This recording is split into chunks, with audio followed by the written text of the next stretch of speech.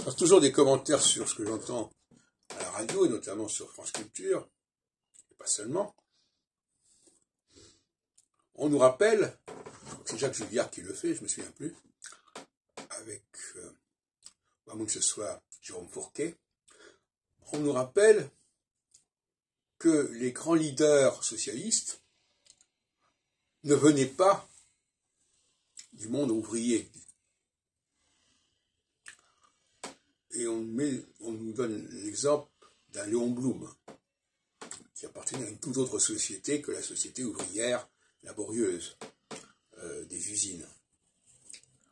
Et le paradoxe, effectivement, c'est comment se fait-il qu'un Léon Blum soit devenu le leader par excellence du Front populaire, etc.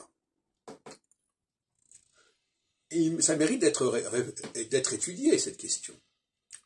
Ça pose le problème des leaders, de, je dirais de la race des leaders.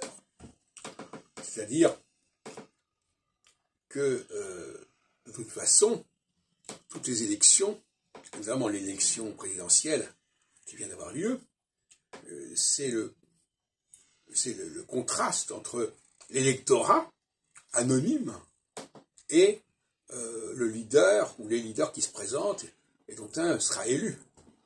Le passage de la majorité silencieuse de la masse à l'élite. Et ça, on ne le met pas suffisamment en, en, évidence, en lumière.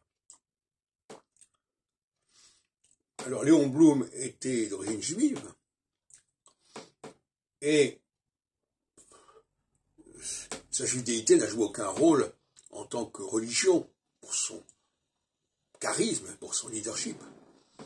Mais, d'une certaine façon, en tout cas c'est la thèse que je soutiens depuis longtemps, d'une certaine façon, il joue ainsi le rôle d'un juif. Parce que le juif a vocation à rassembler autour de lui des gens qui ne sont pas juifs. Et là, il y a la question de leadership. Un leader juif n'est pas là pour rassembler des juifs. Hein? C'est la grande erreur du sionisme de croire que les juifs doivent se...